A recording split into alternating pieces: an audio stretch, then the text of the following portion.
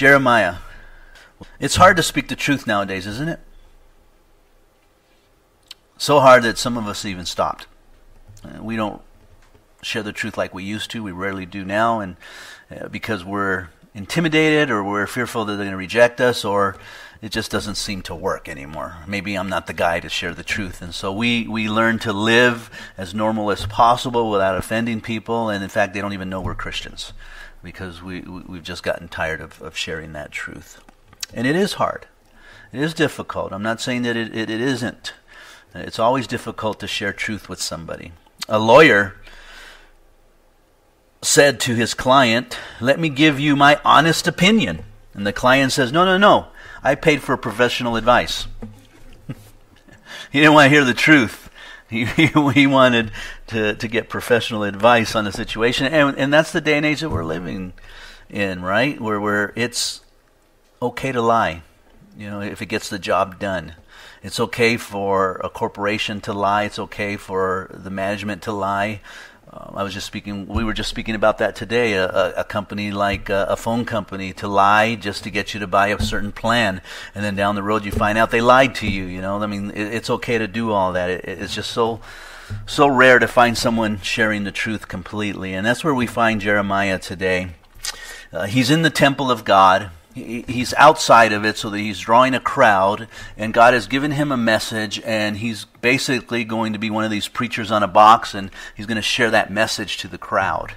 And the crowd uh, will not like it uh, very much the religious men of that time the, the scribes or the, the priests and so forth will uh, will have this hatred towards jeremiah and they will literally want to take him and and kill him uh, for what he is saying at that time. And Jeremiah will use, uh, obviously, God as a witness that he has given him the words to share. And so, why are they persecuting him if God has told him to, to share the things? Uh, it's natural to them to persecute, and he gives some examples of others that were persecuted in the past. Uh, eh, because of uh, the word that they had spoken, and even though those words might not have been from God, but these people are just really hard of of hearing, but also of applying. And James is very clear that we're to be not just hearers of the word, but what? Doers of the word. That means that we have to apply it to our lives. It's nice, and we think that because we're in church and we're listening uh, to the word and, and we're agreeing with it, we think that's applying it. And it's not. Uh, we need to go home and, and ask ourselves Am I applying this scripture? A- am I sharing the truth with people? Do I take those opportunities, even though it may cost me something? And so we see Jeremiah here um, sharing with the people, being being faithful as an ambassador of Jesus Christ, in a sense, like uh, Corinthians tells us that we're ambassadors for Christ. You know, uh, reconciling people unto God. We're pleading that they would come to the Lord. I used to be involved in a ministry called Pleaders for Christ.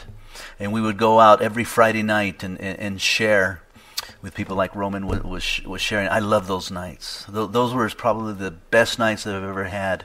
And, and I stopped because I started a church, became a pastor, and it got really involved.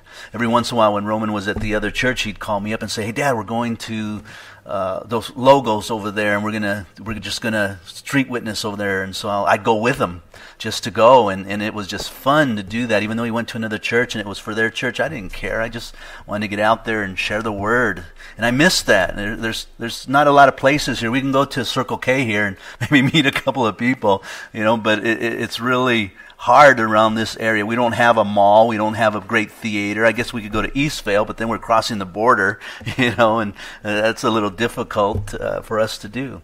So, so the church growth is not necessarily on evangelizing, though we do that. And this fossil goes out like on Saturday, and he shares uh, the word with the community, the neighbors. He goes house to house like Jehovah Witnesses or Mormons.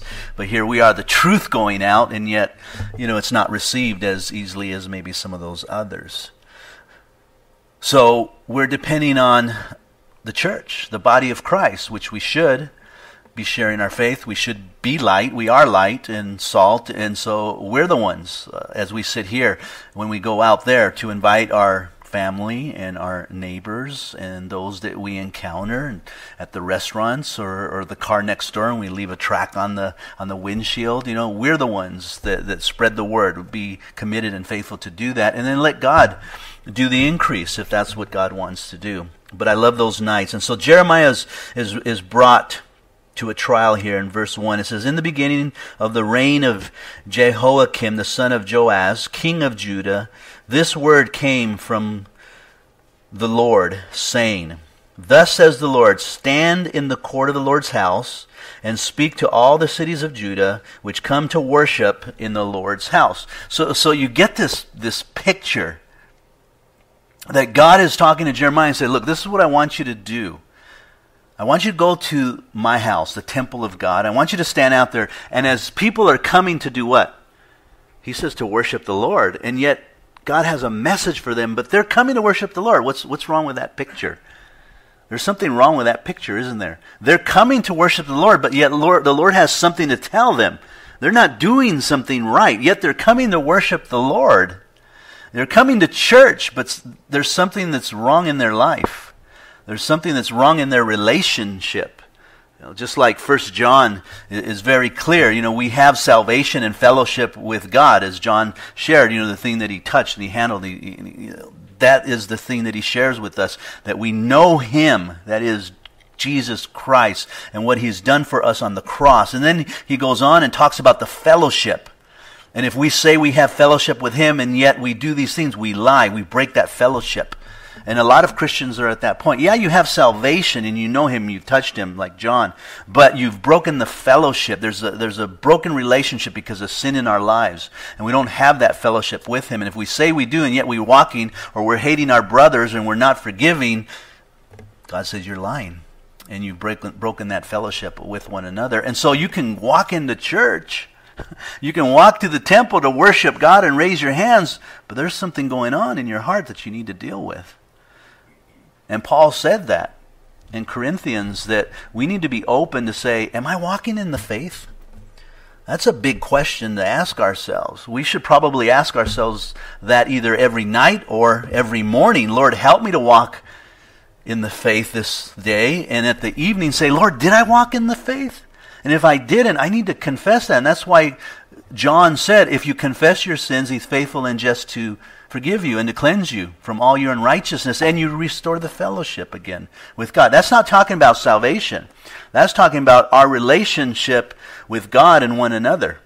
That's what that's talking about. That scripture should not be used to, to draw the unbeliever in. That's for us.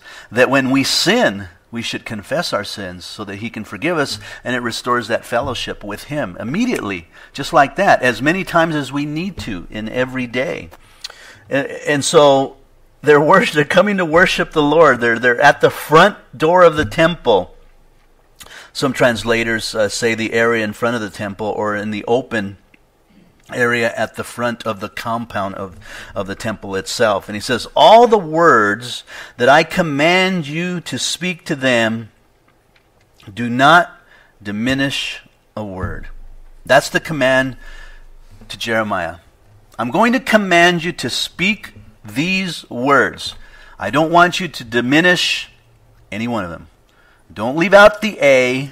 Don't leave out the and. I want you to share the whole truth and nothing but the truth. So help you God, you know, in a sense. That's the command to Jeremiah. There's, that's, that's the command to him. And yet we have people today cutting up the Word of God. We have preachers taking the Word of God and, and, and they're interpreting it in the manner in which is not biblical. We see preachers leaving out the sin leaving out the repercussions. God wants you to have a, a, a, wealthy life, a healthy life, a good life. He wants you to be happy.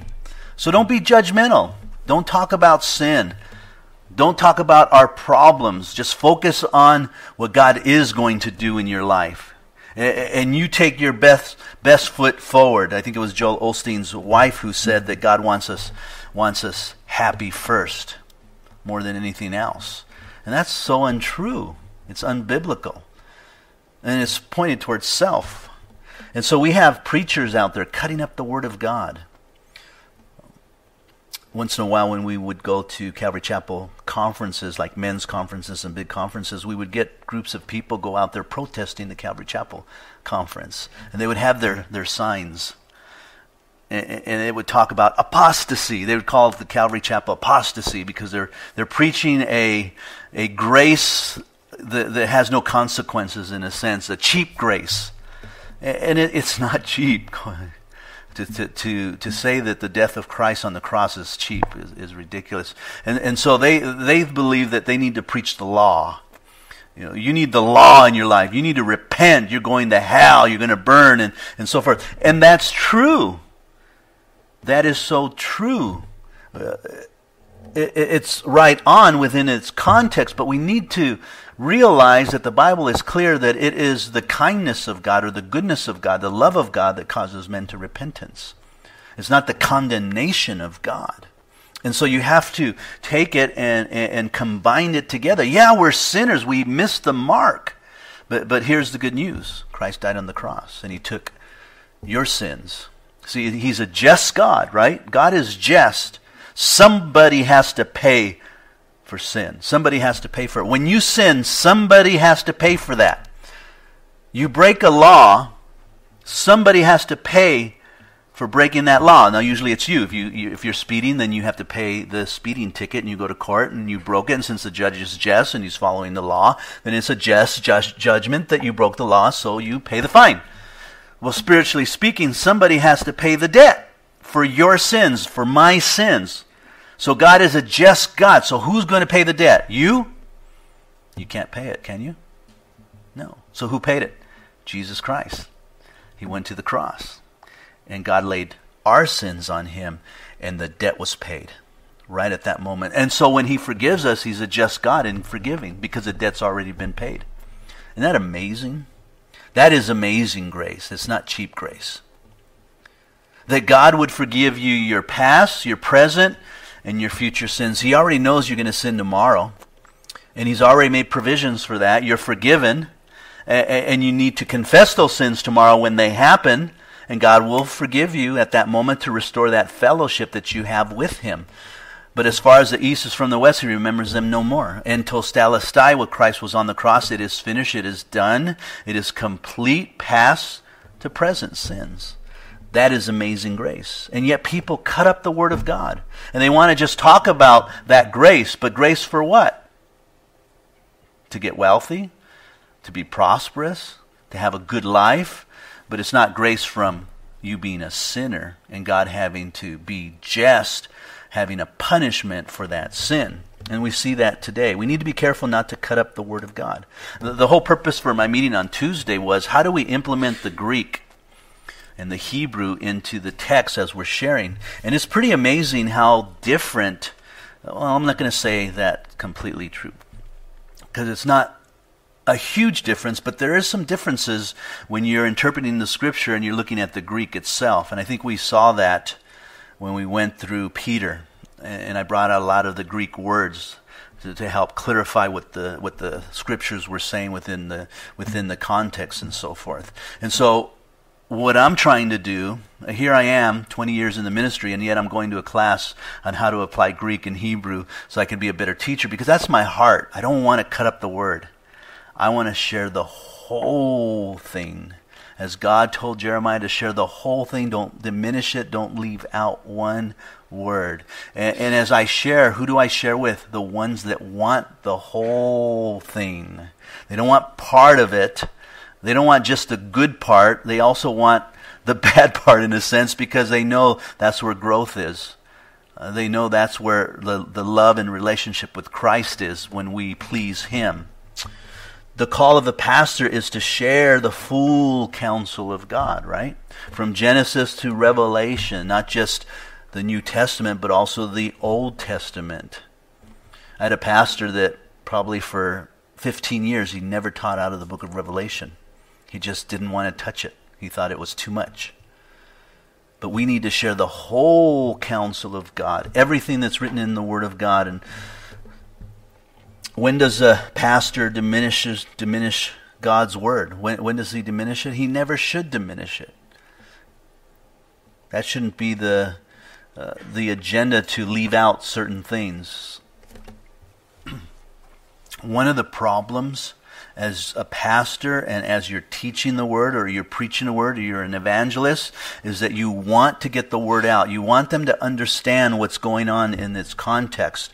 And, and so you have to you have to be as gentle gentle as you can sticking with the context, yet you have to share the truth with them and what is being said. This is what Chuck said, and and I heard this in, when we were studying through Ezekiel, and I thought it was pretty amazing that he had the same problem as I had, and I'm sure that a lot of other pastors had. I, I remember at a meeting uh, some other pastors saying the same thing: is that people will come up to you and they'll accuse you of taking the word and and using it to discipline the church because the church is going through something, and so then as you're teaching, you start dealing with that subject that the church is going through. And then people take it personally and they say, well, you're just preaching from the pulpit what's going on in the church. And that's not right. You shouldn't be doing that. And Chuck agrees with that, and I agree with that too, that, that here we are talking about Jeremiah. He's supposed to preach the word, and then all of a sudden I start talking about, you aren't, you're not tithing. You know, because the church is, is, is, you know, not where it should be. And so I start talking about tithing because that's a subject within the church that's going on and people are involved in it. And so I start telling you about tithing. Blah, blah, blah. Well, that has nothing to do with the context. Why am I bringing it up? Because now I'm bringing it up to, to really discipline you, to really correct you because I've got an issue. And you can't do that. And, and Chuck says that, that you should never do that out of context. Deal with issues that are going on in the church. He says what, what's so neat about going through the Word of God is eventually you'll deal with that issue. And when you deal, when that context deals with that issue, that's when you bring it up. That's when you bring it up. Because God has brought it up. Through your teaching on Sunday or Wednesday or whatever day you happen to be in that chapter, and that's what you happen to be preaching on. I know that not everybody is, is living up to the expectations that God has for them. And so they may be a little worldly. And we know what worldly is, fleshly. We know what that means. We're, we're not living a godly life. And we're neglecting God, you know, completely. Sorry, getting a phone call. And so then I go through Jeremiah, and Jeremiah's all about what? Idolatry living like the world and the culture. And so you start teaching on that, and people that are living like that, it's natural for them to be offended, right? Because they're now saying, oh, he's talking to me. See, now he's pointing out my sins. That's not right. Well, wait a minute. It's in the context, though. So either you're here to receive from God's word or you're not. God is speaking all the time from the pulpit. And he's speaking the word of God, and it shouldn't be diminished whatsoever at all. See, what, what, what has happened is our society, our culture, has diminished the authority of the church. Used to be a time when this country of ours was founded on Christian values, where pastors were the presidents of the United States. They were the governors. They were in the Congress. And you look back, a lot of them were pastors. H- uh, Huckabee was a pastor, and he's in in politics. That's the way it should have been. And throughout the years, slowly, we've diminished the authority of the pastors. Remember, there was a time where Billy Graham was always at some sort of prayer, some sort of opening for the President of the United States. He has been doing this for years and years. And here comes this president, and what happened? He no longer is, in, is involved. They removed him, they removed him completely. Why is that? Because he stands for righteousness, for truth. And the world is taking that away from the church. And so now that they have done that, now they're attacking the church. You can't say that in church anymore. So if you're preaching on homosexuality out of, in context, now if I start preaching out of homosexuality in this context, which has nothing to do with homosexuality, then yeah, maybe I've got a problem with homosexuals. But if I'm in Romans chapter 1 and we're going through the context and I start preaching on it, no, I'm just sharing with you what the Word of God says. I'm not, a, I'm not trying to offend you, but if you're involved in that, well, that's happening. God's speaking to you to stop it. But the world doesn't see that. They now are saying you can't do that. That is hate speech. and you're coming down on a group of people that have a right to live that way, and we're not going to allow you to do that. And so now they're policing the church, where the church used to be in authority leading our country. Now it's being kicked in the back. And that's sad because then the church itself begins to see that and they diminish the authority of the leadership within the church. And I think we need to take that back. I think we need to respect uh, the authority that God has set up. I think we need to respect the position. You might not like the man so much, but at least the position and the place. And we need to lift it up and encourage those that are in those positions to continue to preach the word and don't diminish any of it whatsoever. Why are our churches and our communities growing? you can go down the street and there's a few churches in our community that are they're growing, uh, they're expanding. But when you go and sit in these churches, they're not preaching the Word of God. They are watering it down so that they minister to the flesh of the people. That was one thing that I was taught by Pastor Chuck is that if you begin to minister to the flesh of people, then you've got to maintain that within the church. And as soon as you start preaching the truth, that's when people start leaving.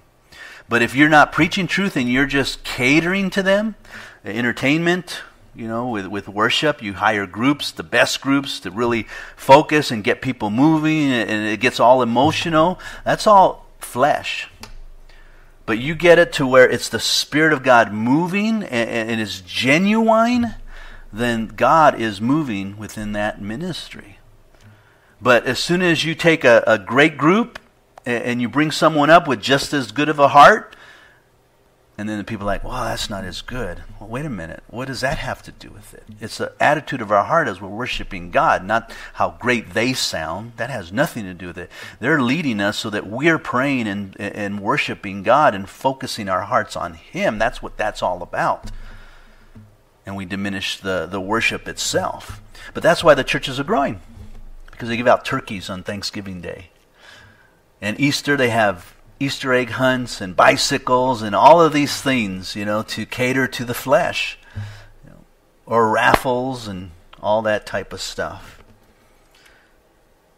They remove judging, they remove sin, they remove those things that God is most concerned about. Don't diminish the word. Perhaps everyone will listen or pay attention in the Hebrews, is what it's saying. Um, God is saying, perhaps everyone will listen or pay attention and turn from his evil way, that I may relent concerning the calamity which I purpose to bring on them because of the evil of their doing. So you see the heart of God there. God says he he wished that none would perish, but that all would come to repentance. God doesn't want anyone to perish. That's his heart. It's not true that God sends people to hell. He doesn't send people to hell. They reject Him and send themselves to hell. We're our worst enemies. God's heart is that people would receive Him and go to heaven. They would repent from their sins and be welcomed into heaven with open arms. And so here he's saying, Jeremiah, hopefully they'll pay attention and they'll repent. They'll come back and I'll just relent. I'll turn from, from what I'm going to do, and everything will begin to be great again. They'll just start serving, we'll worship, and, and I will begin to build the nation and, and, and so forth, and, and we'll accomplish what my plan was the whole time. That would be the ideal thing to do. But they wouldn't do it. And you shall say to them, Jeremiah, thus says the Lord, if you will not listen the Hebrew word actually would say obey to me, to walk in my laws or instructions which I have set before you, what will happen? To heed the word of my servant, the prophets, whom I sent to you, both rising up early and sending them, but you have not heeded, then I will make this house or the temple like Shiloh, and will make this city a curse to all the nations of the earth. So if they don't listen, if they don't obey what you have instructed them, Jeremiah, then I will take this house and I will make it desolate, is what he was saying. Notice that he said, Take heed to my servant. Now, he's not saying to obey what my servant has to say, but what he's saying is obey my servant as he's preaching the word, as he's giving the whole full counsel of God out, and he's not diminishing it. And so we're the catalysts of taking God's word and sharing it with the people. And then the people are to take that word and agree because it's biblical, it's within its context, and it's what sh- we should be doing, and then they should do it, obey it. As James says, doing the word and not just hearing it, but actually doing something with it, heeding it, obeying it completely. There's a scripture in Hebrews chapter 13. And it's a warning to pastors. It's also a warning to the church. Ephesians is very clear that he has set up within the church an order of government. God is the head, or Jesus is the head. God is the head of Jesus. And, and under Christ himself is the husband, the wife, and the children. Within the church, it's the pastor, uh, the elders, the, the deacons, and then the servants. And he set up this government aspect of the church itself. And if he set that up, then it's set up to be obeyed, right? To be accepted, that this is God's form of government for the church. And so these men are leading us, and we need to pray for them. We need to encourage them. We need to lift them up to not diminish the Word of God. Even if I don't like it, don't diminish it. I love a man who will preach the Word of God and be, uh, be very clear on it, even if it offends me. Listen to what Hebrews 13 17 says Obey those who rule, rule over you, and be submissive, for they watch out for your souls so, so the warning here for pastors is they watch out for the souls of the body of Christ, the church that they are overseeing. That's my responsibility. And God is going to hold me accountable to that.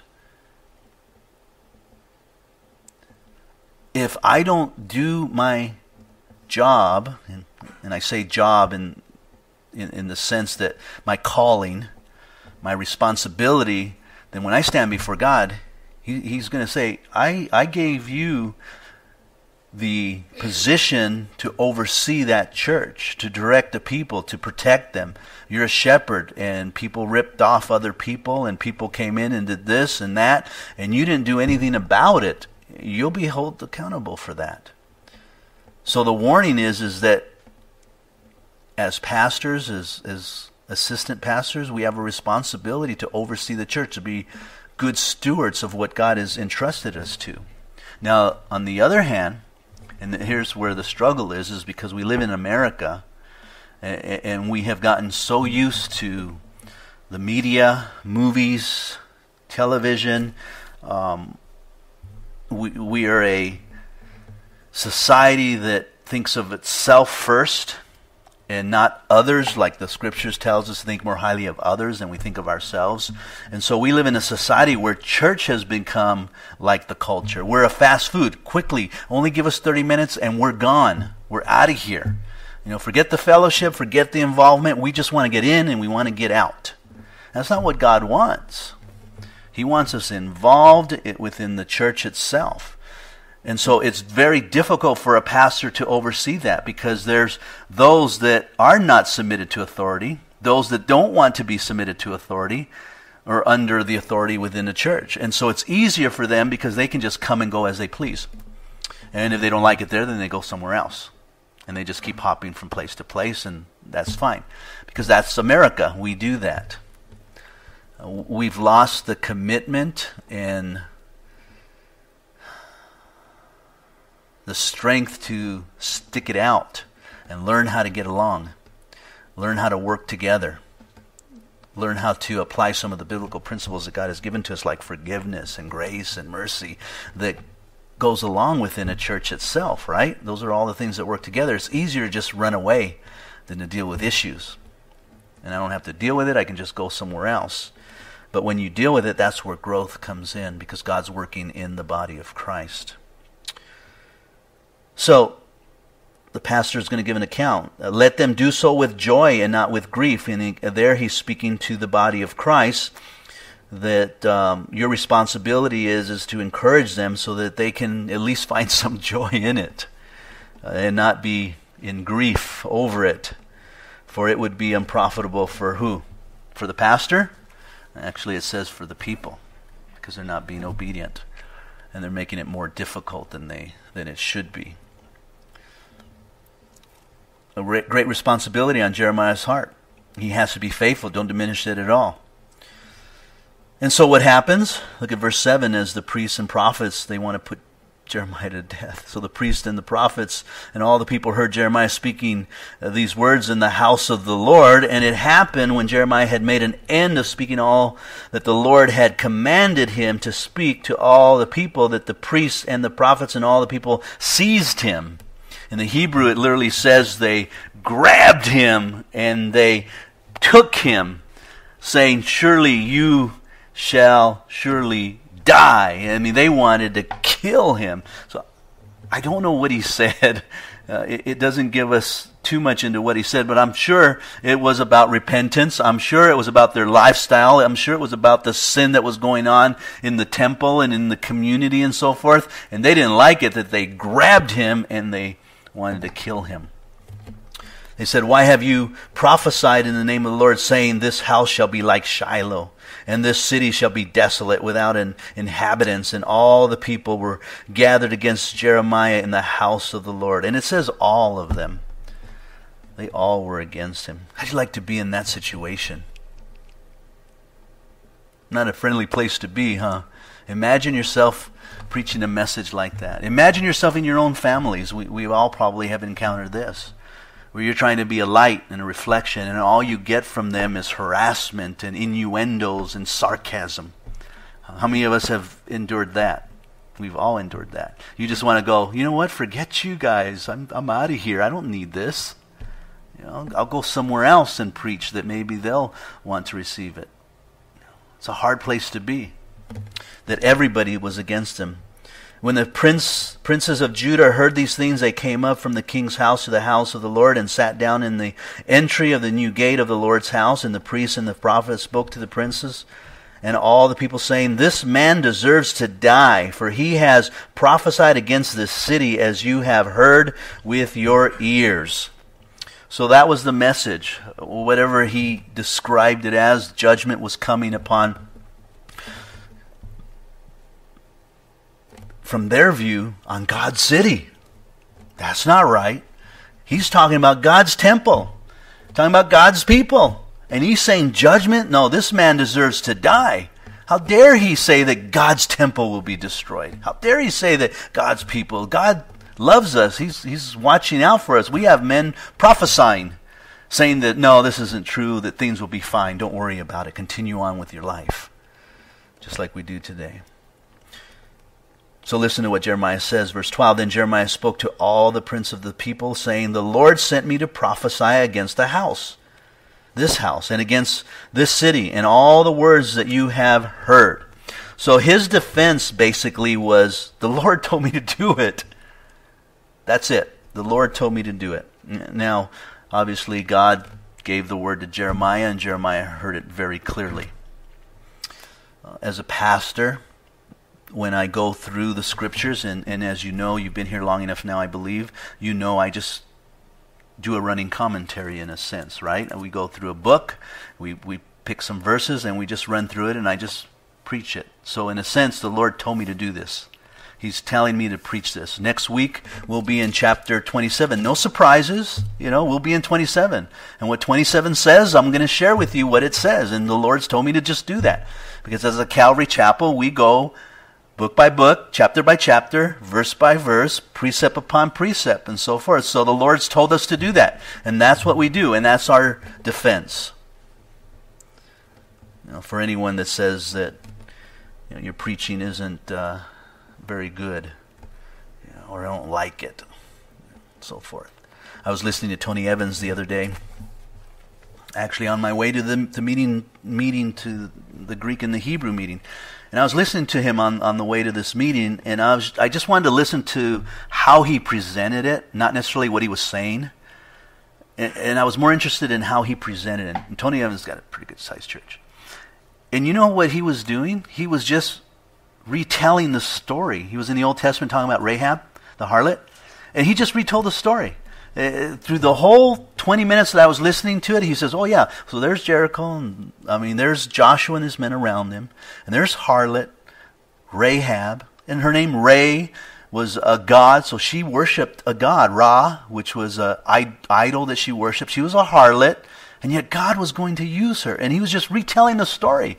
And I'm going, there's nothing special about how he did that. And, once in a while, he, he, he'd say something about her, you know, and how she was willing to accept God, not on what she saw, but what she heard. She heard, like any of the others in Jericho, what God had done for Israel. But what she heard changed her life. She knew that this God was powerful, and so she was going to help this God out. And you hear people in the background, you hear all these claps. Yeah! I'm like, he didn't say anything profound. It wasn't like a, a great insight. He just repeated what the scripture said. And I'm just like, okay, that's so strange. What's going on here? Isn't that what I do? You know, and yet you always have that opposition. I only share what the Lord has told me to share, Jer- Jeremiah said. I think the question that needs to be asked is what is being said scripturally? That's the question that we really need to ask ourselves as as we're sitting there. Someone asked me years ago, you know, if someone comes up, if someone comes up to you and, and, and they just say, you know, uh, I just see this and I, I I'm just hoping that you won't be offended by it, but you know, this is what I see, blah blah blah. I mean, how do you take that? And I says, well, you take it. Is it scriptural? Is what they said scriptural? Does it apply? And if it doesn't, say thank you. And I'll take this back. I'll pray about it and I'll ask the Lord to help me because I want to please Him. Same with the word when it's being brought forth to us to, to at the table to eat of. Is it scriptural? Is what he's saying scriptural? And if it is, then I need to apply because it's God's word. Now therefore, Jeremiah says, amend your ways and your doings and obey the voice of the Lord your God. Then the Lord will relent concerning the doom that he has pronounced against you. So uh, again, the hope and the grace and mercy of God. Look, all you got to do is turn. And again, God will turn away and he will not judge you. As for me, here I am in your hands. So, I mean, he, I can almost envision them holding him while he's talking. Hey, look, guys, you know, God told me to do this. But you know what? If you just stop what you're doing and, and, and, and just repent, God promised that he'll, he'll stop what he's going to do and he won't judge the world. And they still got a hold on him. So here I am, and, and you got me in your hands. Do with me as seems good and proper to you.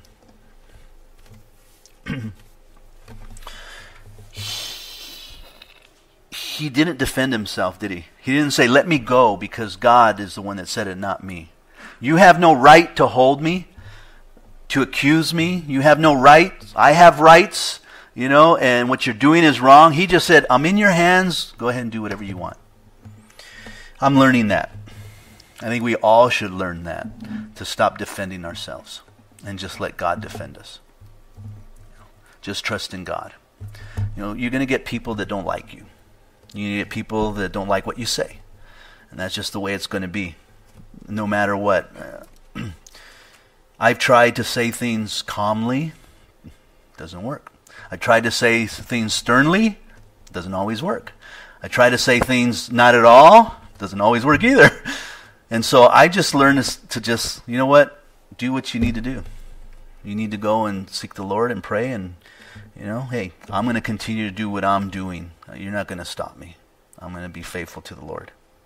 But know, but know for certain that if you put me to death, and he was expecting to die, you will surely bring innocent blood on yourselves and on this city and on its inhabitants.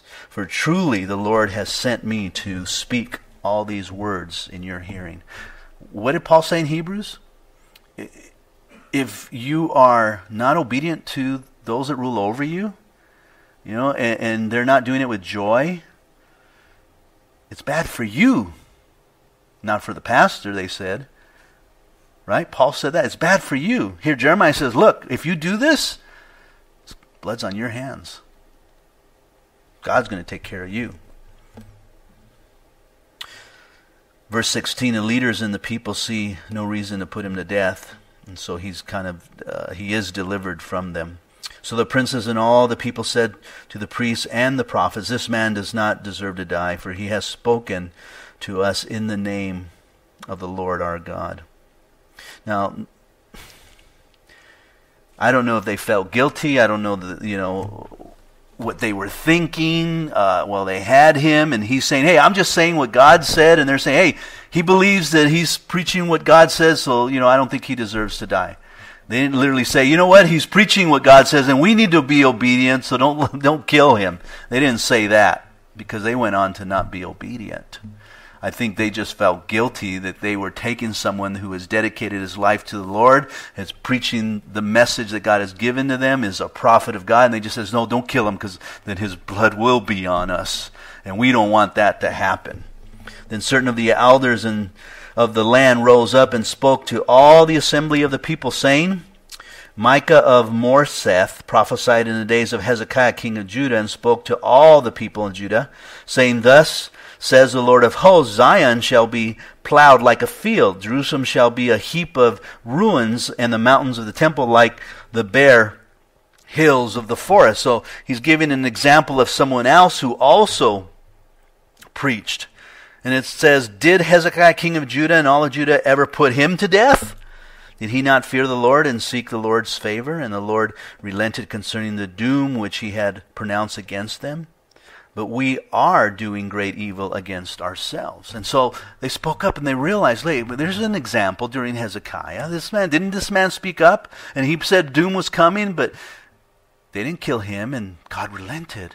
God did not do that like he said. So maybe we ought to let him go. Then they give another example. Now, uh, there was also a man who prophesied in the name of the Lord, Urijah, the son of Shimrath of Jearim, who prophesied against the city and against the land according to all the words of Jeremiah. So here's another guy who did the same thing. And when Jehoiakim the king, verse 21, with all the mighty men and all the prince heard his words, the king sought to put him to death, but when Urijah heard it, he was afraid and fled and went to Egypt. But not Jeremiah. So here's this example. Here's another guy and he did the same thing, but as soon as the king got a hold of him to kill him, he ran. He took off. He said, Forget this. Think Pastor Gary was sharing about how many pastors are leaving the church, how many churches are shutting down, what, 1,200 a month? They're running. Maybe they can't preach the word. Maybe the body that they're involved in isn't letting them preach the word. I've heard stories of pastors who have who have been a part of denominations. Now, a dom- denomination is where the pastor does not have the authority. It's a group of men that have the authority of, over the church and not the pastor. He basically is what we would call a hireling. They hire him and he does what he's told. And so they'll they'll direct him. Okay, we want you to teach about this and don't teach about that. And basically, they're telling him what to teach. And so he's not really a pastor, he's a hireling. He's hired to, to do what they say. And I've heard of those men firing pastors like that. They don't like him. He's not doing what, what we think he should be doing. The church isn't growing the way it should be growing. And so we, he's out of here. We're going to interview some more men and see if, if maybe one of them will, will um, work out in a sense. And so, I mean, you go into a place like that and you're scared, you, and right away you want to leave. You want to get out of there. And so, like this guy who felt threatened to death, he wanted to leave. He wanted to run. And a lot of pastors are running because they're getting tired of doing good. When Paul was clear is don't get weary of doing good. Continue to do good because you don't serve man, you serve God. See, I don't serve you. I serve God. I was talking with another pastor, and we were talking kind of about this, though he didn't know I was going through this. and he was he was sharing how how his church has fluctuated, and he, he really thinks that it is because he teaches the truth, and so people come and they go. And if they stay, it's because they want to hear the truth. And if they go, it's because they don't want to hear the truth. And so he sees this fluctuation. And he says, and I think that's why there's a lot of small churches. The bigger churches aren't always teaching the truth, they're teaching something else that are drawing the people in. They're, they're hearing these things. Uh, whether they're, it's the truth or whether it's the opportunity that they have basketball teams and volleyball teams and they have all kinds of things for the kids. And, you know, uh, we, we were in a situation years ago where we didn't have a youth ministry. We didn't have a youth pastor. We didn't have a youth leader. We were praying for one. We were hoping that, that someone would, would stand up and say, I'll do it. So I had to fill in every once in a while whenever I could, but no one stood up and said, I'll do it. And so there were families that say, well, we're not going to stay here. We can't stay here because we have nothing for our kids here. Well, why don't you stay and start something? They don't see that because they want their kids to go there so they can go do something else. You know, drop their kids off and Friday night dates for them while their kids are, you know, on at church Friday night. That could be. I'm not saying that was everyone's motive, and of course, I had these families, and so I kind of tried to reason with them. I go, look, you're going to devastate the church. And they didn't care. They left anyway, and it impacted the church. I also shared with them that Friday night youth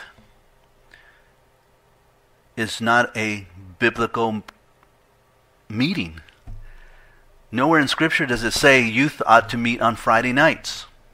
Nowhere does it say that the women's ministry should be Wednesdays and Tuesdays. The Bible says that they gathered together on the first day of the week. Everybody. That's it. We've come up with all these other ideas that aren't biblical. I'm not saying they're wrong. I mean, I think they're great. But when we begin to accuse the church of not meeting the needs of the people, and say, wait a minute, it's not even biblical. You're wrong. Completely wrong. And so they leave. they run because they're not seeing what they want to see within the church.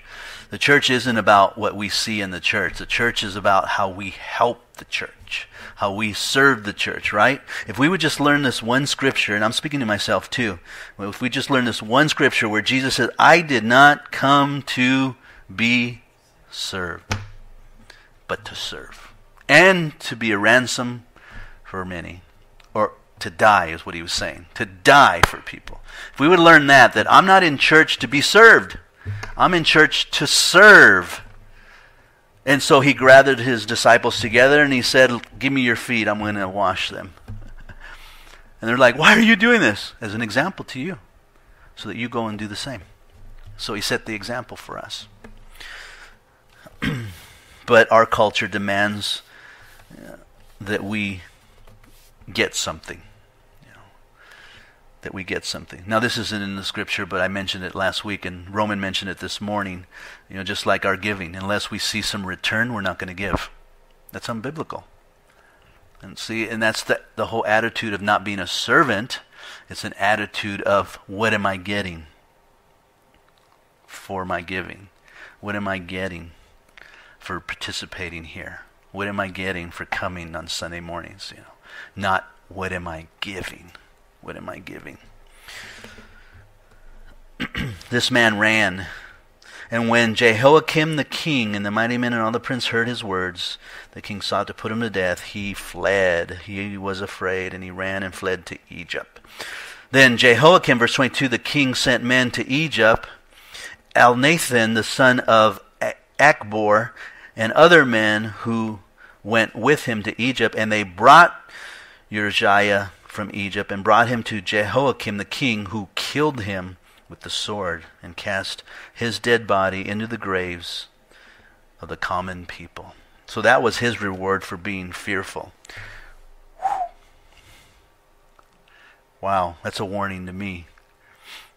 Not to diminish God's word, but to preach it all.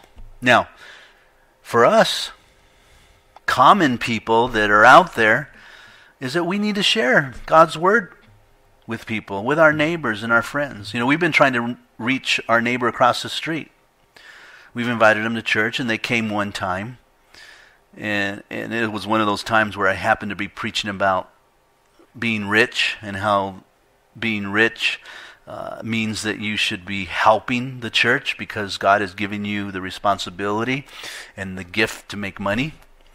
And so I don't know if that was the greatest time to invite them for the first, you know, Sunday. They haven't been back since, but we're we're really close. We talk to each other. He's he's a he's a, a landscaper, so he's helped me with with stuff here, you know. And the Lord keeps nudging at me to invite him again, invite him again. And so I'm looking for that opportunity uh, to invite him again, and, and we need to be open to that not to not to build this church, but to build the body of Christ, and we need to understand that uh, to build the kingdom. That should be our heart wherever we go, is how we can reflect Christ and share.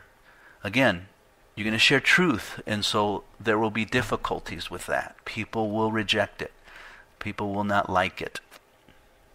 I think there is a point in time as Jesus sent the disciples out, and he says, You go door to door, and when you come to a house, you knock on the door. If they receive you, go in, and they'll feed you, they'll clothe you, you know, they'll provide for your needs. But if they reject you, what did he say do? Just stomp your feet and be done with them. Go to the next place. Uh, Jesus said it's like throwing pearls to swine. What is swine going to do with pearls? So, what are the ungodly going to do with the truth, the gospel of grace and love? And there is a time there is a time where, where you're sharing with your loved ones, your family, and they're just mocking and laughing and taking every opportunity. And so, you know what? You know what? Pearls before swines. I don't need this anymore. I got to move on because they're not going to receive it from me. Maybe someone else needs to come along and, and hopefully minister to them. So that's understandable. You tried, and you tried for years, and it's time to move on and, and try somewhere else in a sense, you throw your, your pole somewhere else, right? When you're fishing. If you're a fisherman, and as a fisherman, you know that, that you don't always just fish in the same hole. Unless you're catching, then you just keep it there and you keep reeling them in. But if you're not catching, usually you move down a little bit, then you move down some more. Next thing you know, you find yourself, how did I get here? Boy, I was way over there. Well, you weren't catching anything over there. So now you're over here and you're now catching. And that's what we're doing with the gospel. We're looking for opportunities where the Spirit is moving in people's hearts. And He's not moving here. Hasn't moved in a while, so it's time to move on.